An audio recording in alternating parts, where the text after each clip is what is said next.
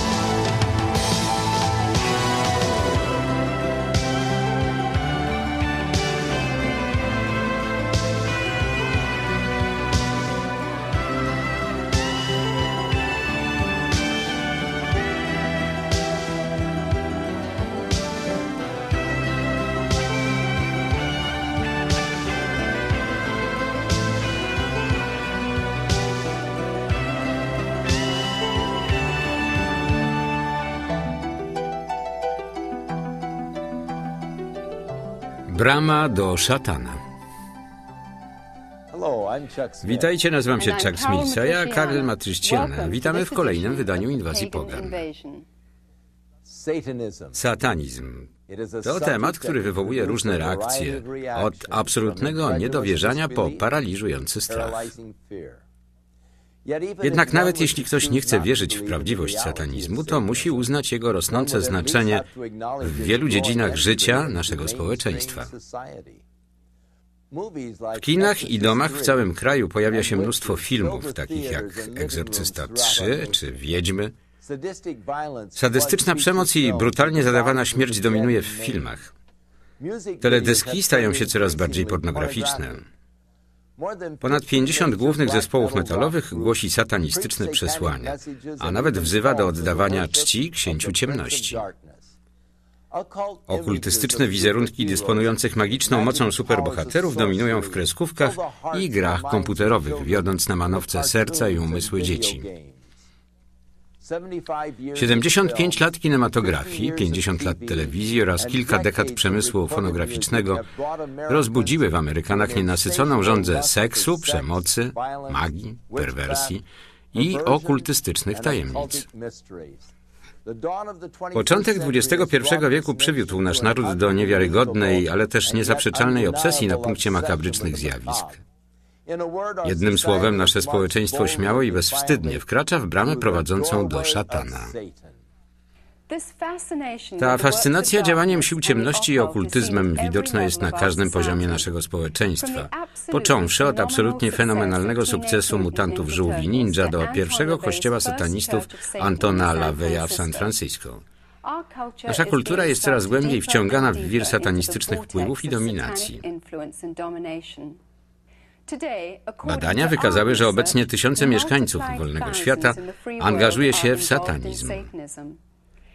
Najnowsze publikacje w Europie podają, że jest około 100 tysięcy wiedźm, satanistów i magów chaosu w samej tylko Wielkiej Brytanii. W Niemczech ocenia się, że około 10 tysięcy ludzi praktykuje czarną magię. Instytucje wspierania prawa w Ameryce Północnej zasypywane są sprawami kryminalnymi związanymi z działalnością satanistyczną. Można w nich znaleźć wszystko, od profanacji grobów po pornografię dziecięcą i molestowanie, rytualne wykorzystywanie, znęcanie się nad zwierzętami, mordy ofiarne, kanibalizm, gwałty, sodomię oraz bezczeszczenie kościołów i synagog. Wiodący specjaliści od satanizmu i przestępczości w Ameryce uważają, że istnieje międzynarodowa siatka satanistów odpowiedzialna za rozpowszechnianie pornografii dziecięcej. Satanizm rośnie w siłę i nie zamierza zrezygnować.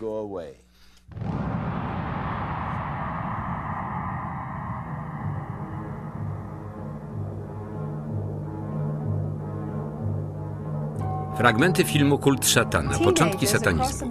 Nastolatki w Ameryce biorą udział w nowej przerażającej grze satanizmie. Podręczniki szkolne są poznaczone satanistycznymi symbolami, odwróconymi krzyżami, pentagramami, liczbą 666. Mona młodzieżowa promuje elementy demoniczne. Uwodzą ich heavy metalowi bohaterowie, wykorzystujący satanistyczne obrazy w swoich utworach i na okładkach płyt. Część z tych młodych ludzi fascynuje się przemocą, złem i śmiercią. Prowadzi to do ohydnych zbrodni, takich jak samobójstwa czy składanie ofiar z ludzi. Joseph Bisum, lat 18 oraz Edward Bennett, lat 19, obaj wychowani w mormońskich domach, podcinali sobie żyły i zamęczali zwierzęta podczas satanistycznych rytuałów. To jednak im nie wystarczyło i w końcu zamordowali 18-letnią Michelle Moore. Sean Sellers, lat 17, najmłodszy więzień w celi śmierci w Oklahomie, brutalnie zamordował matkę oraz ojczyma, ponieważ próbowali przeszkodzić mu w satanistycznych rytuałach. Scott Waterhouse, lat 17, torturował i zamordował 12-letnią dziewczynkę podczas satanistycznego obrzędu. Pete Roland, lat 17, wraz z trzema innymi chłopcami założył sektę satanistów. Złożyli ofiarę Scotta, a potem zwrócili się przeciwko Stevenowi Nibry, czwartemu członkowi sekty i zatłukli go na śmierć kijami do baseballu, skandując słowa ofiara dla szatana. Richard Ramirez, nocny łowca, został skazany za 13 morderstw oraz 30 innych przestępstw. W ciągu lata roku 85 znęcał się, dusił, gwałcił, kaleczył nożem i strzelał do swoich ofiar w napadach sadystycznej i satanistycznej potrzeby zabijania. Wiosną roku 1989 znaleziono okaleczone zwłoki 13 ofiar, z których najmłodsza miała zaledwie 16 lat, zakopane w zbiorowym grobie w pobliżu granicy amerykańsko-meksykańskiej w Metamoros. Ta satanistyczna sekta zajmująca się przemytem narkotyków wierzyła, że ofiary z ludzi składane w groteskowych rytuałach zapewnią im magiczną ochronę.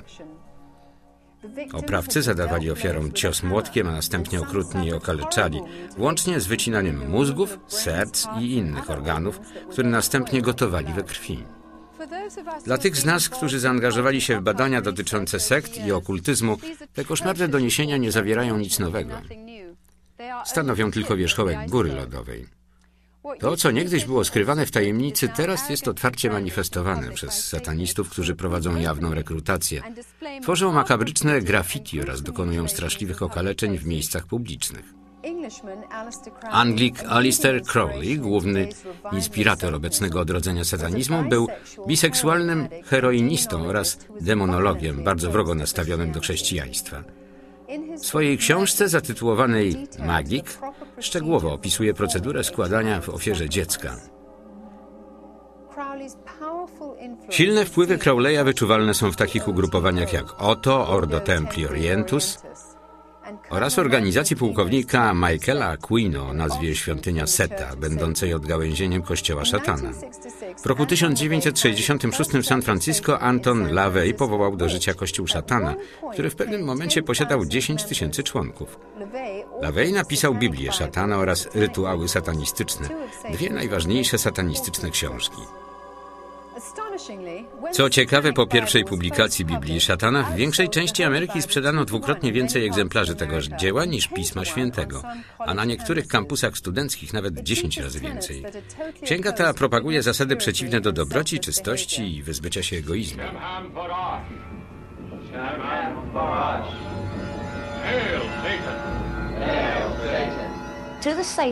Dla satanistów dobro jest złe, a zło jest dobre. Prawda jest kłamstwem, a kłamstwo prawdą. Słodkie jest gorzkie, a gorycz słodka.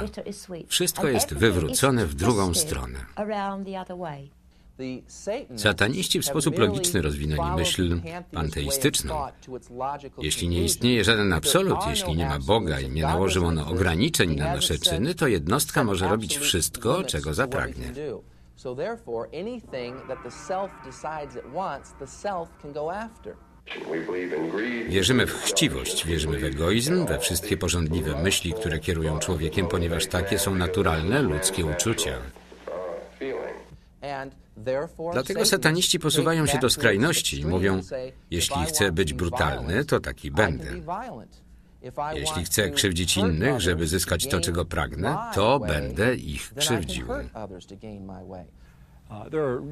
Uh, Ogólnie mówiąc, dzielimy satanistów na cztery różne typy. Są tam amatorzy, sataniści religijni, nietradycyjni i pokoleniowi. Amator to nastolatek, który po prostu dowiaduje się różnych rzeczy od swoich rówieśników. Interesuje się tablicami, o Ouija, chodzi do biblioteki lub miejscowej księgarni i szuka odpowiednich książek. Nie jest niebezpieczny, ale może zostać wciągnięty głębiej w działania prowadzące do przestępstwa. Amatorzy rysują graffiti na murach, przewracają nagrobki i ogólnie uprzykrzają ludziom życie. Może się też zdarzyć, że składają zwierzęta w ofierze, ale to są nowicjusze.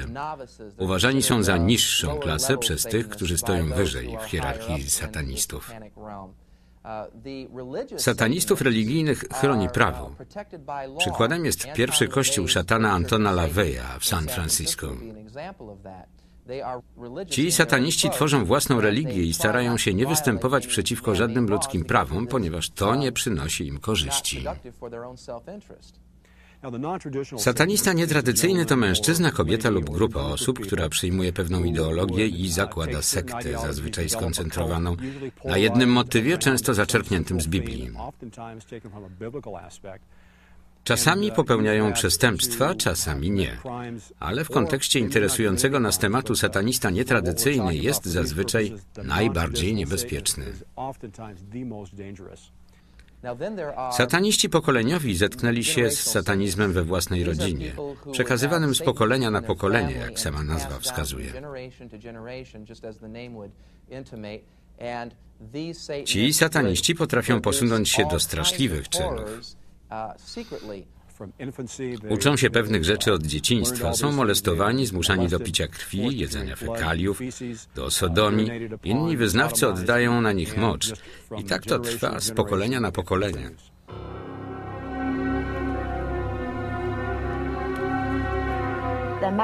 Główna teza jest taka, że szatan brał udział w stworzeniu świata wraz z Bogiem i został niesłusznie wyrzucony z nieba, kiedy poprosił Boga o sprawiedliwy podział. Pewnego dnia odzyska należne mu miejsce. Musimy więc powiększać jego armię. Im więcej rekrutów znajdzie się w szeregach szatana, tym szybciej jego armia wzrośnie, odzyska władzę i obali Chrystusa oraz Kościół chrześcijański.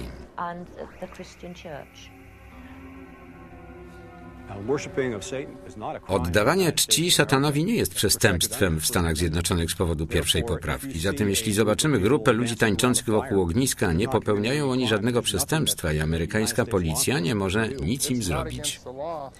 Bycie satanistą czy uprawianie magii nie jest niezgodne z prawem. Możesz czcić kogo chcesz. Nie interesuje mnie twoja religia, nie prowadzę dochodzenia w sprawie czyjegoś wyznania. Prowadzę dochodzenie w sprawie zbrodni. No Nie ma żadnych badań statystycznych dokumentujących, jak bardzo satanizm jest rozpowszechniony. Moim zdaniem bylibyśmy zaskoczeni wynikami. Zaczynamy w Wielkiej Brytanii zauważać, że satanizm jest bardzo popularny. Dzięki naszym kontaktom w instytucjach socjalnych, wolontariatach i policji zaczynamy tworzyć pełny obraz sytuacji, który ukazuje, że mamy poważny problem.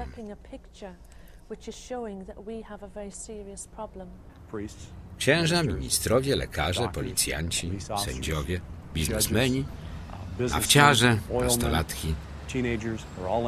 Wszyscy razem zbierają się w jednym celu poświęcić wszystko szatanowi. Byłoby o wiele łatwiej, gdyby ci ludzie nosili rogi, widły i czerwone kombinezony.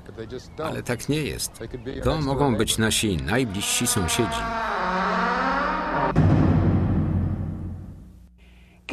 Glenn Hobbs jest byłym satanistą, który jako dziecko został wprowadzony w satanizm przez swojego dziadka.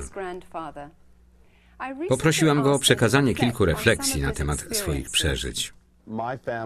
Moja rodzina była w pewnym sensie rodem królewskim w sekcie. Pochodziliśmy z czystej linii. Każdy w mojej rodzinie był kapłanem lub kapłanką, a ja miałem przejąć to stanowisko. Zostałem do tego wybrany.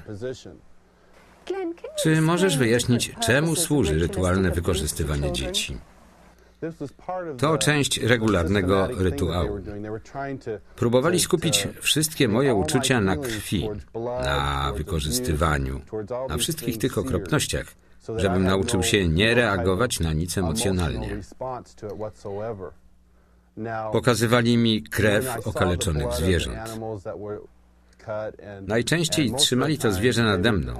Podrzydali mu gardło, a jego krew spływała na moje ciało. Byłem nagi, a oni zmuszali mnie do aktów seksualnych. Potem przekazywano nas innym członkom sekty, a oni uprawiali z nami seks. W chwili, gdy to się działo, myślałem, że jestem bardzo szczęśliwy, iż to nie mnie poderżnięto gardło.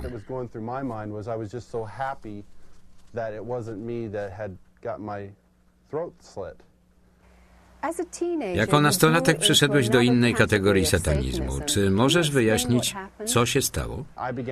Zacząłem się modlić do szatana, prosząc, by zabrał moje życie. Uczyń mnie swoim arcykapłanem. Wszystko to, co zostało mi zaszczepione jako dziecku, odzywało się w wieku kilkunastu lat. Podpisałem kontrakt z Lucyferem własną krwią. Podciąłem sobie nadgarstki i podpisałem kontrakt z Lucyferem. Potem zupełnie się zmieniłem. Zacząłem zachowywać się bardziej jak kapłan. Stałem się bardziej aktywny, bardzo zbuntowany. Zacząłem świetnie się uczyć i przodować w każdej dziedzinie życia. Większość rytuałów, które odprawiałem jako nastolatek, dotyczyła ofiar ze zwierząt. Nie składałem ofiar z ludzi, ponieważ przewodnicy duchowi, demony obecne wówczas w moim życiu, instruowały mnie, że dopiero kiedy zajmę stanowisko arcykapłana, wtedy złożę ofiarę ludzką. Czekałem na ten moment z niecierpliwością. Bardzo chciałem złożyć swoją pierwszą ofiarę z człowieka.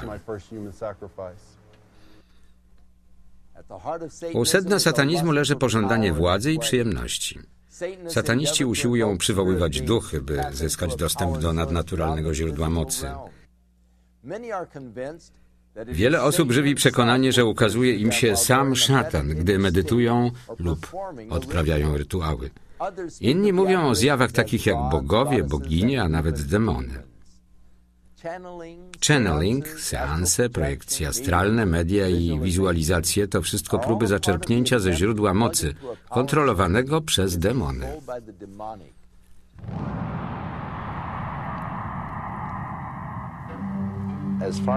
Jeśli chodzi o motywację, czyli o to, dlaczego ktoś zostaje satanistą, to w przypadku niektórych, a przynajmniej moim, jest to stopniowa infiltracja. Wieloletni proces przechodzenia od zainteresowania postrzeganiem pozazmysłowym i latającymi spotkami do uznania, że szatan jest moim panem. Zaangażowałam się w satanizm z powodu obietnicy władzy i bogactwa. Zapraszano mnie na różne przyjęcia, na które chodziłam.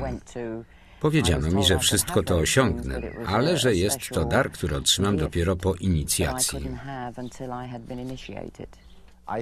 Myślę, że można to określić jednym słowem pożądanie. Nie chodzi tylko o pożądanie seksualne, to pożądanie władzy leżące w naszej grzesznej naturze. Oczywiście pożądanie rozkoszy. Jest też coś, co Louis nazywa duchowym pożądaniem, czyli duchowa chęć, żeby sięgać po nieznane, po to, co fascynujące. Jako 13-14-letni chłopiec praktykowałem magię. W tym wieku wyobraźnia nie zna ograniczeń. Kusiła nas wielka magia, o której słyszeliśmy. Wzywanie diabła, przyzywanie demonów. Próbowaliśmy tego wszystkiego i częściowo nam się udawało. W roku 1981 pragnienie Marka, by doświadczyć najmocniejszej strony czarnej magii, skłoniło go do założenia własnej satanistycznej sekty, świątyni Olimpu. Jeśli chodzi o mnie, Magia wiąże się z otrzymywaniem tego, czego człowiek pragnie. Magowie dostają wszystko, czego pragną. Zależy im na łatwym życiu.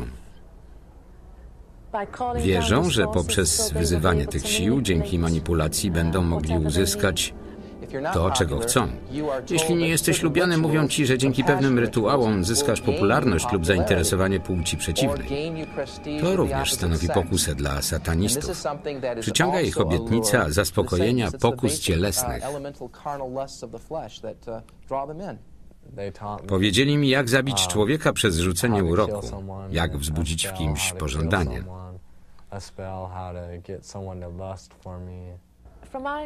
Z moich doświadczeń wynika, że dzieci zwracają się ku satanizmowi z powodów emocjonalnych. Jest wśród nich o wiele więcej dzieci z rozbitych rodzin lub z takich, których ojciec nie spełnia swoich rodzicielskich e, obowiązków. Zwłaszcza nastolatków pociąga bunt, robienie wszystkiego, co się da, żeby doprowadzić rodziców do szału. Chcą w sposób nadprzyrodzony zemścić się na rodzicach. Poznaliśmy wielu nastolatków, którym właśnie na tym zależało. Kolejną przyczyną jest fakt, że Kościół nie zaspokoił ich potrzeb. Nie widziały nadprzyrodzonej mocy Boga w Kościele. Nie widziały żywego Chrystusa wśród ludzi.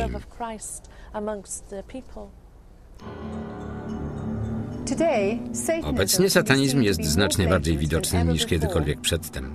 Grafity o treści satanistycznej nikogo już nie zaskakuje, a rekrutacja, niegdyś potajemna, odbywa się otwarcie i publicznie. Niestety jej głównym celem są dzieci.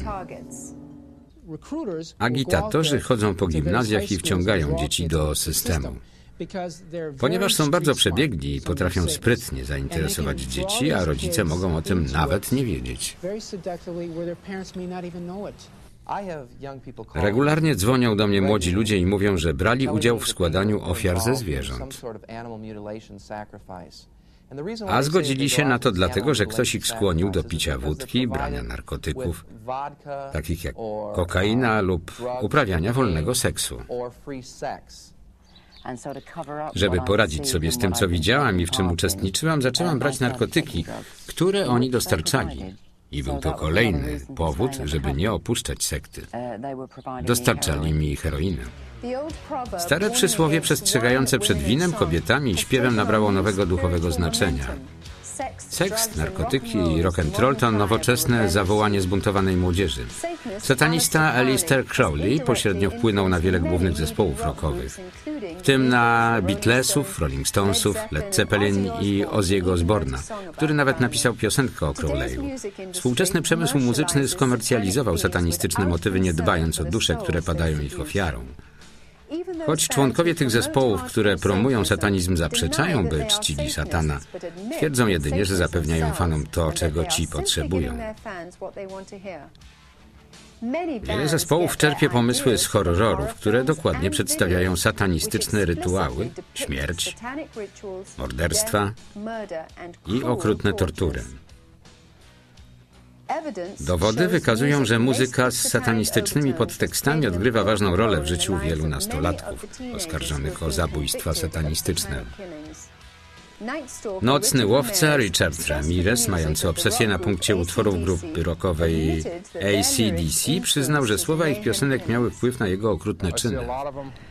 U wielu z tych osób wszystko zaczęło się od muzyki. Nie od każdej muzyki rockowej. Chodzi głównie o black metal, speed metal i tak dalej, z silnymi satanistycznymi podtekstami.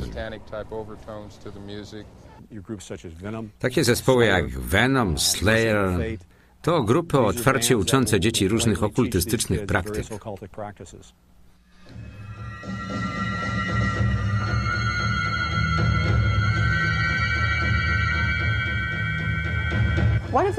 Jednym z najbardziej popularnych londyńskich zespołów jest grupa o nazwie The Devoted Men, której liderem jest Mark, arcykapłan świątyni Olimpu.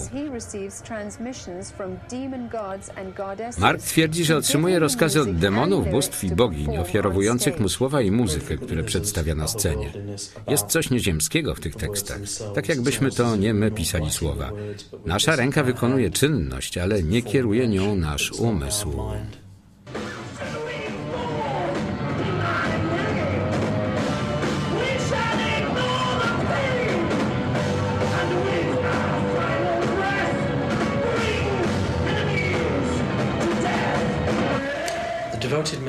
Devoted Men wykorzystują muzykę, która powstaje w świątyni Olimpu i grają ją w Londynie w różnych klubach i lokalach przed pełną życia młodą publicznością, przedstawiając nasze przesłanie. Głównym zadaniem zespołu jest rekrutowanie nowych członków do zewnętrznego kręgu satanistycznej sekty Marka. Arcykapłanki Sara i Julian odeszły z sekty z powodu głębokiego uzależnienia wewnętrznego kręgu od czarnej magii i perwersyjnych rytuałów. Ideą przyświecającą zespołowi Devoted Men był inny sposób na zdobycie władzy nad światem. Uznali, że jako znana grupa rockowa zdobędą pieniądze, by pojechać do Stanów i otworzyć tam wielki satanistyczny kompleks.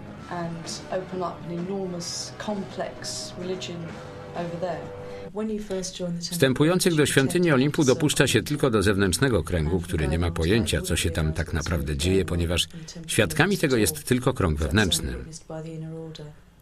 Składa się w ofierze kwiaty, wino, czyta poezję na głos.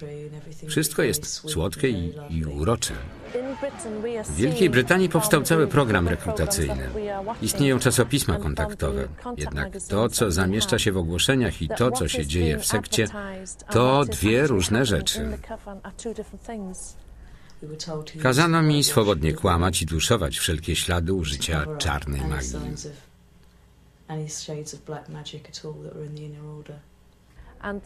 Wiele zakonów przybiera pozór zupełnie niewinnych zgromadzeń, ale w efekcie po inicjacji ludzie odkrywają, że przyucza się ich do prostytucji, pornografii, a także do satanizmu.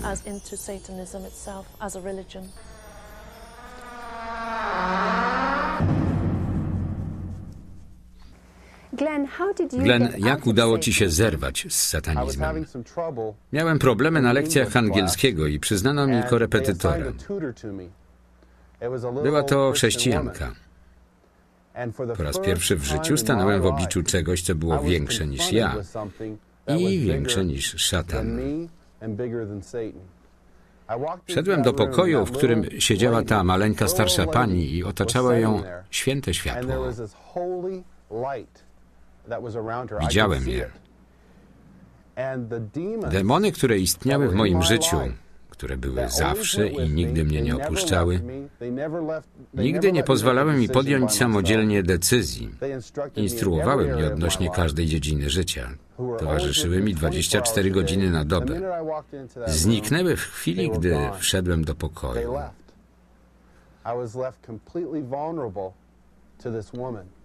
Odeszły. Poczułem się zdany na łaskę tej kobiety.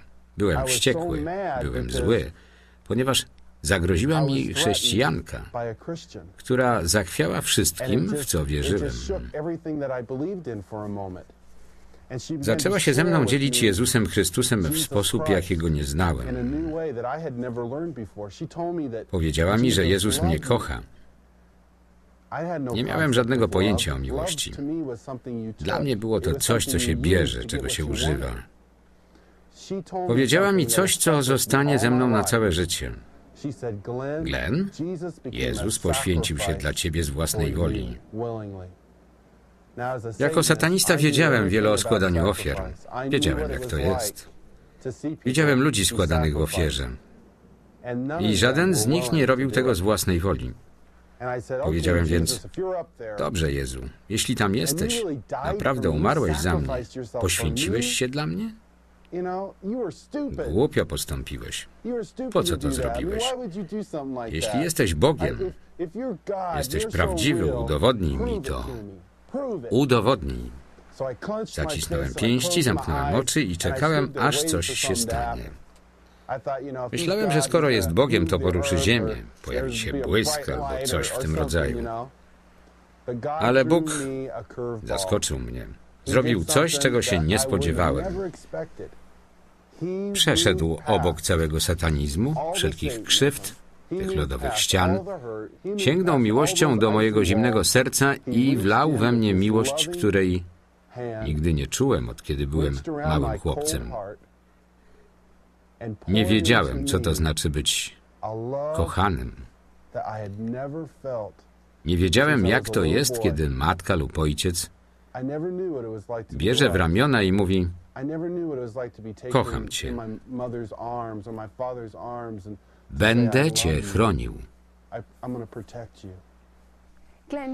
Jak sądzisz, czy chrześcijanie są podatni na okultystyczne wpływy? Oczywiście. Znam wielu chrześcijan, którzy zajmują się okultyzmem, chodzą do wróżek i dają sobie czytać z dłoni, którzy zajmują się horoskopami, czytają okultystyczne książki. Rzecz w tym, że wielu chrześcijan myśli, iż tylko dlatego, że przyszli do Jezusa Chrystusa, a On im wybaczył, to otacza ich magiczna ochrona i mogą robić, co zechcą. Mogą igrać z okultyzmem.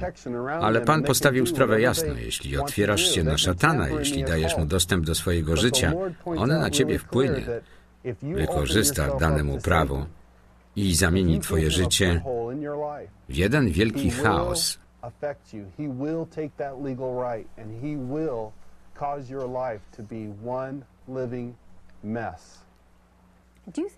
Czy uważasz, że muzyka heavy metalowa może przyciągać do okultyzmu? Znam chłopca, którego rodzice byli chrześcijanami. Chłopiec zaczął słuchać Kim Diamond. Oni są zadeklarowanymi satanistami i mają bardzo mocne satanistyczne teksty. Chłopiec zaczął się na tym koncentrować. Wracał do domu, zamykał się w pokoju i słuchał tej muzyki cały czas. Zbudował ołtarz, czcił szatana i robił to z powodu tekstów piosenek. Rodzice uważali, że jego pokój to jego teren i że nie mają prawa tam wkraczać. Ale gdyby podjęli wysiłek i zobaczyli, co się dzieje, mogliby uratować swoje dziecko przed samobójstwem.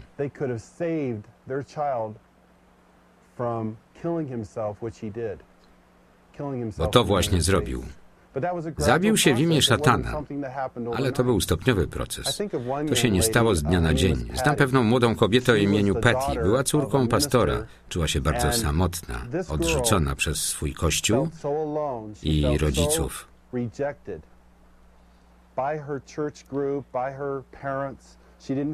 Czuła, że do nich nie pasuje, że to nie jest jej miejsce. Została zaproszona na przyjęcie wydawane przez praktykujących satanistów. Ucieszyli się z jej przyjścia i powiedzieli: Patty, widzimy, że jesteś wyjątkową osobą. Masz szczególne zdolności psychiczne. Widzisz rzeczy, których inni nie widzą. A Patty odpowiedziała: To prawda. Zaczęli jej okazywać akceptację, zapraszać na przyjęcia i seanse, podawać narkotyki. Skłonili do udziału w orgii seksualnej. Zrobili zdjęcia. Pokazali je jej i powiedzieli: Robimy to dla Twojego dobra, Patty. Musisz wstąpić do naszego zakonu, bo inaczej pokażemy Twoim rodzicom, co zrobiłaś. Oczywiście zgodziła się i wtedy przepełnił ją duch buntu. Została arcykapłanką. Zupełnie zapomniała o wszystkich chrześcijańskich naukach w swoim życiu. A dlaczego? Ponieważ nie czuła miłości Jezusa Chrystusa do innych chrześcijan.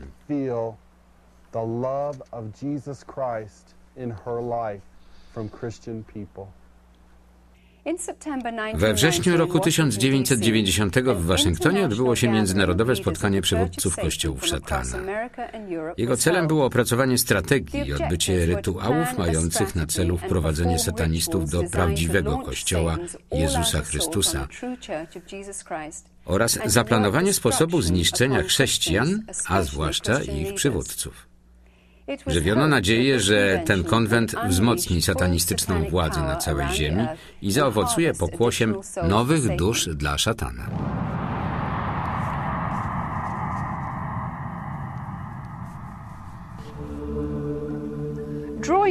Te rysunki ukazują, w jaki sposób zmuszano dzieci do udziału w odrażających satanistycznych rytuałach, obejmujących ofiary ze zwierząt i z ludzi, a także jedzenie surowego mięsa i picie krwi. Rozdzierające serce doniesienia opisują, jak dzieci były zamykane w klatkach lub grobach na wiele godzin. Czasami nawet z wężami. Oddawano na nie mocz i kał, a dorośli gwałcili je podczas satanistycznych ceremonii. Niekiedy dorośli nosili habity podobne do strojów chrześcijańskich duchownych i odprawiali rytuały w chrześcijańskich kościołach, nie tylko po to, by szydzić z Boga, ale terrorem zmusić dzieci do wyrzeczenia się wiary w biblijne chrześcijaństwo. Czy sądownictwo może zrobić coś w kwestii takiej filozofii? Czy oni wierzą w satanizm? Nasi ludzie po prostu się z tego śmieją. Sataniści wierzą, że perwersje seksualne połączone z rozlewem niewinnej krwi przywołują najsilniejsze moce. Istnieją doniesienia o tym, że zwierzęta takie jak psy, koty, kozy i konie żywcem obiera się ze skóry, wycina się im organy wewnętrzne lub rozcina i przybija do odwróconego krzyża. Sataniści wierzą, że samo zabicie zwierzęcia nie wystarczy. Musisz zabijać je powoli. To oczywiście może dotyczyć również człowieka, ponieważ krzyki i cierpienie zwierzęcia zasilają wyższy poziom mocy. Osiągaliśmy wspaniałe rezultaty. Już po pierwszym rytuale wiedzieliśmy, że trzeba włożyć wszystkie wysiłki w kolejne działania.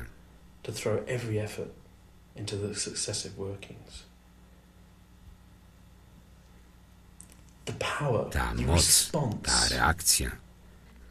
Ofiary ze zwierząt są obecnie bardzo powszechne. W sekcie, do której należałam wiele lat temu, składano również ofiary z ludzi. Różne sekty satanistyczne muszą składać tego rodzaju ofiary w dni uznane przez nie za święte.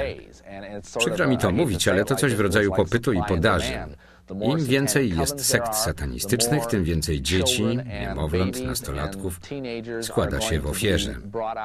Im zależy na zniszczeniu niewiniątek. W jednym z piękniejszych i spokojniejszych regionów Anglii, czyli w hrabstwie Surrey, gdzie ludziom trudno wprost wierzyć w takie rzeczy, pewna kobieta wyznała, że jej nowonarodzone dziecko zostało złożone w ofierze w satanistycznym rytuale. Sama to powiedziała publicznie.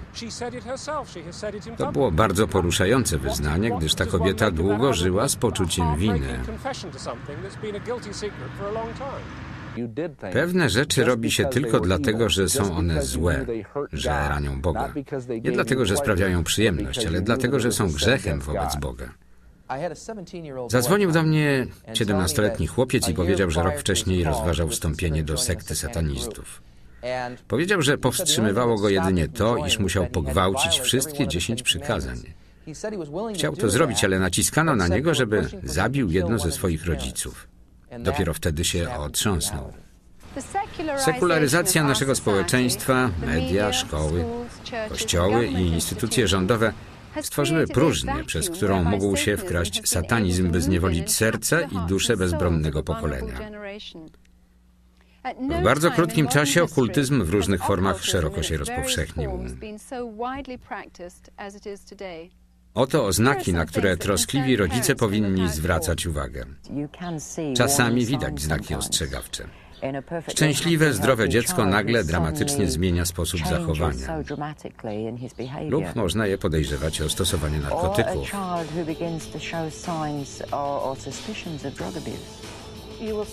Widać te same symptomy wycofania się, co przy stosowaniu narkotyków. Zmiana osobowości, agresja, bunt przeciwko rodzicom, trudności ze snem, napady złego nastroju i chęć zamykania się w pokoju, żeby budować ołtarz czy wzywać bogów.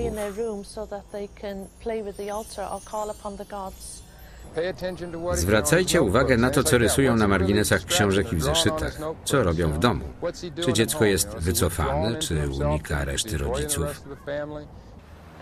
Największą ochroną, jaką może zaoferować rodzic, jest otwarta komunikacja z młodym człowiekiem. To główny motyw pojawiający się w rozmowach z nastolatkami. Nie mogę porozmawiać z mamą ani z tatą. Niech wiedzą od samego początku, że dobrze jest z wami rozmawiać. Nie będziecie popierali tego, że robią coś złego, ale też nie przestaniecie ich kochać. Nie należy krzyczeć i wściekać się na dziecko. To czas na naprawienie rodziny. Jeśli nie uda nam się we właściwy sposób przekazać naszym chrześcijańskim dzieciom, co jest ich ochroną, na czym zasadza się ich wiara, kim jest szatan i jaka jest jego pozycja w chrześcijańskiej Ewangelii, to następne pokolenie będzie bezradne wobec tego problemu, który narasta.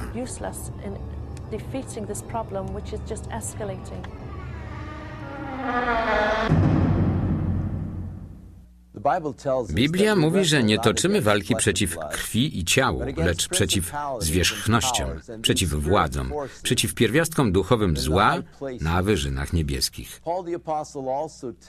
Apostoł Paweł mówi też, że światowy system znajduje się pod kontrolą szatana i że Bóg tego świata zaślepił umysły wielu, by nic nie widzieli.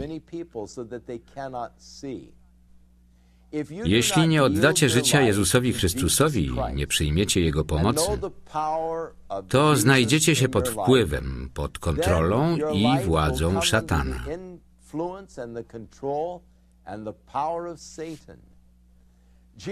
O szatanie Jezus powiedział: Wróg przychodzi, by kraść, zabijać i niszczyć. Oddając życie mocom satanistycznym, człowiek doprowadza do własnego zniszczenia.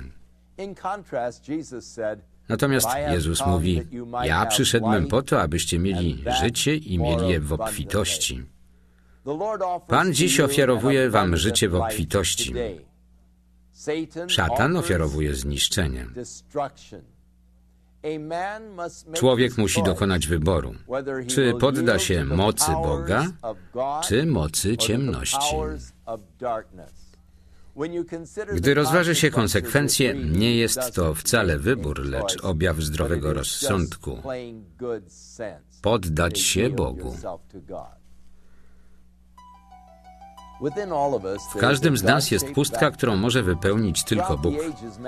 Człowiek zawsze próbował zapełnić ją sprawami tego świata, ale tylko poprzez relacje z naszym Stwórcą możemy czuć się spełnieni. Pismo Święte ukazuje nam, jak możemy się z Nim pojednać, czyli za pośrednictwem Jego Syna, Jezusa Chrystusa. Dziękujemy. Chuck Smith oraz Karyl Matryściana.